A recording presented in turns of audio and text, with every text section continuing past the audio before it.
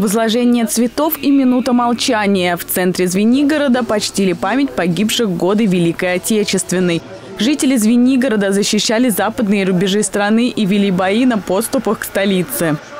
Горожане рыли окопы, делали противопехотные заграждения и противотанковые рвы. В городе был сформирован истребительный батальон и созданы партизанские отряды. С тех пор прошло 82 года, но тот день навсегда останется в памяти. 22 июня 1941 года – дата, когда фашистские войска вторглись в Советский Союз. Все мы помним, что именно сегодня враг вступил на нашу землю и вероломно двигался к Москве.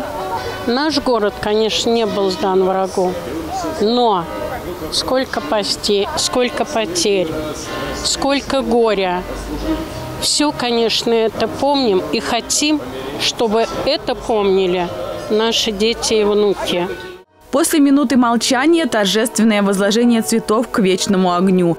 Также жители приняли участие в ежегодной акции «Свеча памяти». На площади у мемориала славы волонтеры выложили слово «Помним».